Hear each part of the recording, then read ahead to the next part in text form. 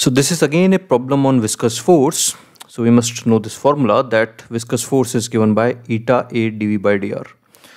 Eta is viscosity is the contact area and this is velocity gradient where that contact is made. So in the problem we have a long cylinder of radius r1 that is displaced along its axis with a constant velocity v0.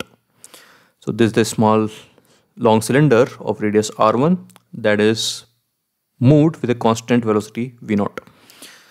It is inside a stationary coaxial cylinder of radius r2. So this cylinder is inside a coaxial radius of coaxial cylinder of radius r2. The space between this stationary cylinder and this moving cylinder is filled with viscous liquid. So between this cylinder and this there is liquid inside. Find the velocity of the liquid as a function of distance r from the axis of the cylinders. Now we know that this part of the cylinder, the surface of the cylinder is moving with V0. This part of the liquid that is in touch with the top part of the cylinder, that part of the liquid is at rest.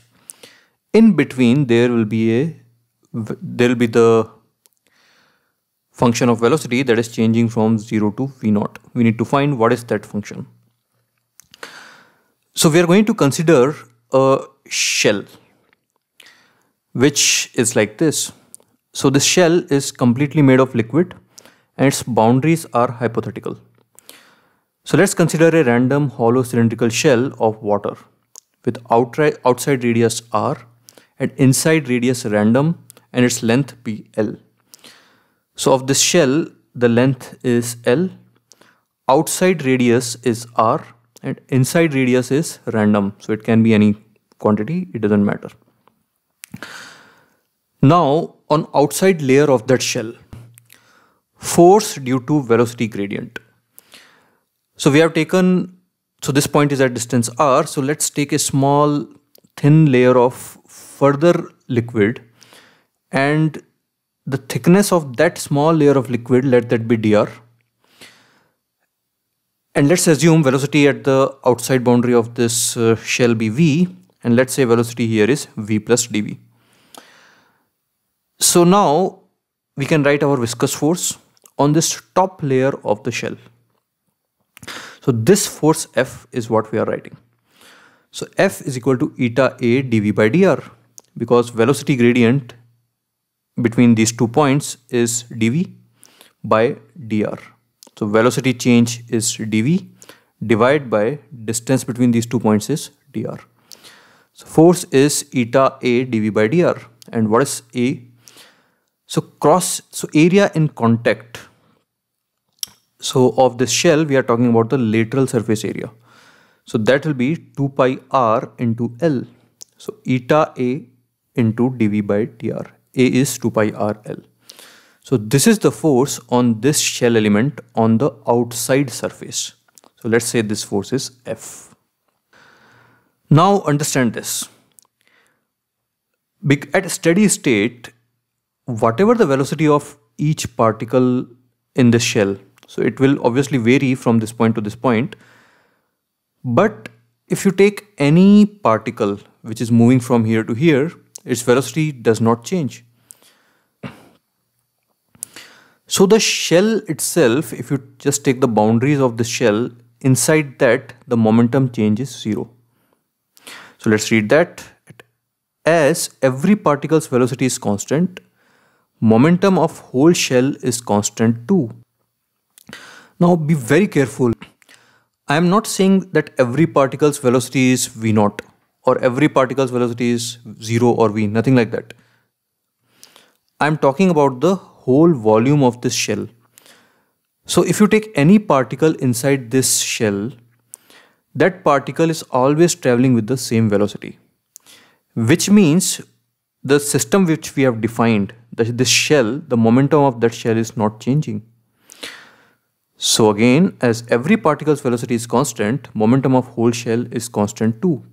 Therefore, net force on shell is zero. So what are the forces? So on top layer, we have seen there is a force F that we have calculated. And that is because the velocity gradient on this small layer of water above this shell. So another force to counter that must be on the inside layer of this shell. And that force should be because of the velocity gradient between the inside layer and the layer just below it. So this blue part. So top force is because of the velocity gradient in this blue part and the force in the inside layer of the shell is due to the velocity gradient in this blue part. So because the net force is zero, this force should also be F. So that's what I've written. So since the total momentum of this uh, shell which we have taken is conserved, so net forces should be zero. On the top layer, the force is towards left, that is F. So in the inside layer, force should be towards right and that should also be F. So on inside layer of shell 2, forces, force should be F, independent of inside radius. Now remember, we have taken inside radius as random.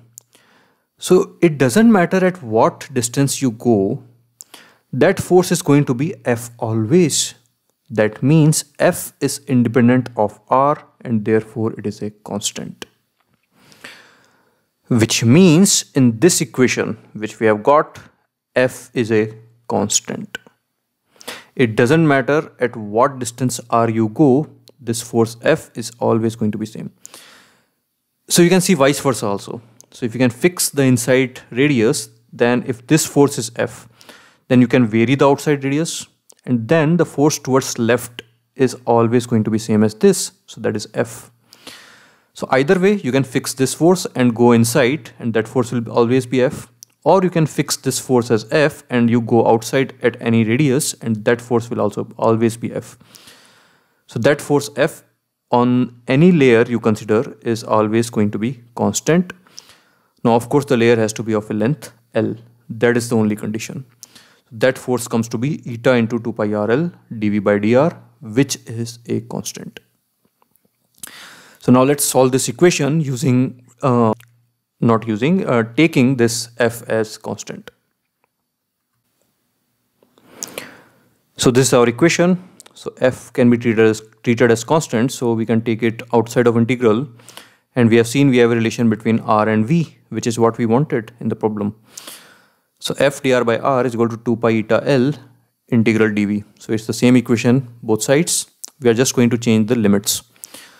So when r varies from r1 to r2, v varies from v0 to 0. r1 to r2, v0 to 0. And when r varies from r2 to r, v varies from 0 to v. So r2 to r, 0 to v. So we have taken the limits such that we get a term of uh, 0 in both the equations. So the equations will be easy to solve. You can get the same answer if you take the limit from r1 to r also.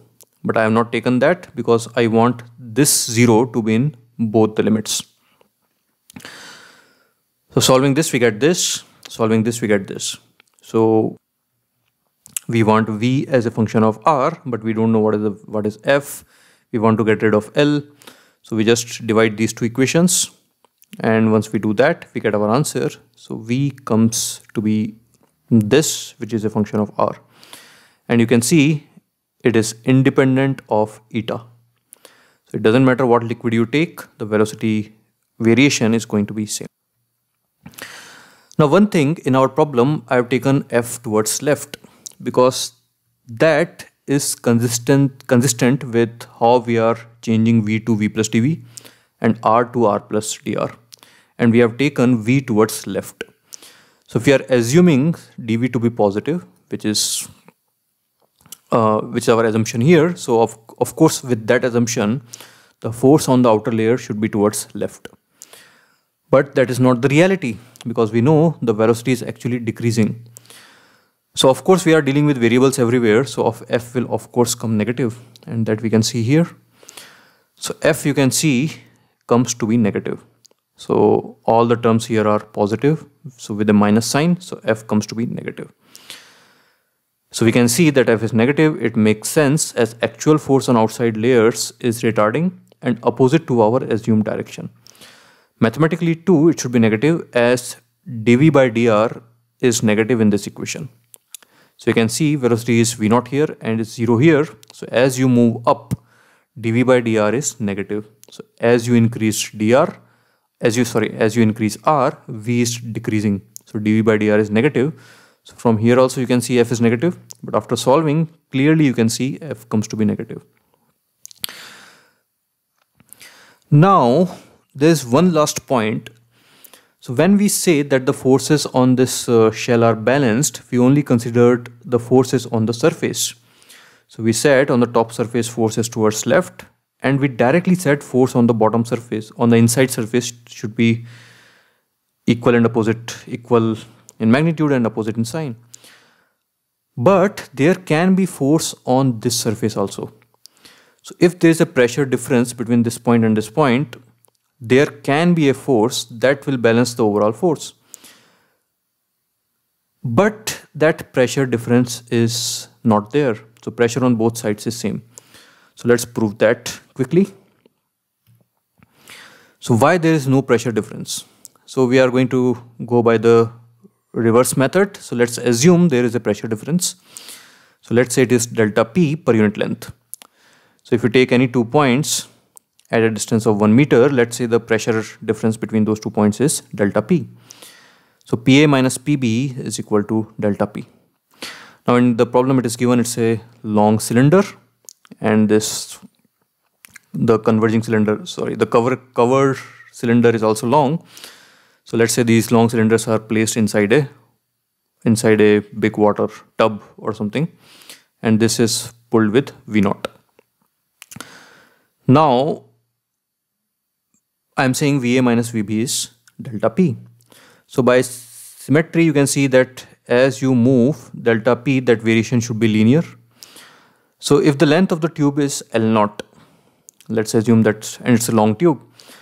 So PP minus PQ is equal to L naught times delta P. And also we have taken all these points P, A, B, Q at the same height. So here you can clearly see the pressure at P is equal to P naught plus rho GH. And pressure at Q is also P naught plus rho GH. So PP is equal to PQ is equal to P naught plus rho GH. So from these two equations you can see if PP is, is equal to PQ then delta P must be 0. So that's why when we wrote the forces, when we balanced the forces here, we did not bother about the force, forces on the flat surfaces. So only forces will be on the lateral surfaces and its magnitude is given by this and these forces are constant. Alright.